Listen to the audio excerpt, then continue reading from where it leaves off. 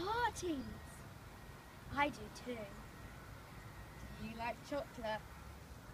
So do I. Vote for Phil. A vote for Phil is a vote for life. This is why I want my daddy to be a parent governor. Daddy likes to help out at the school and he also is really excited about it.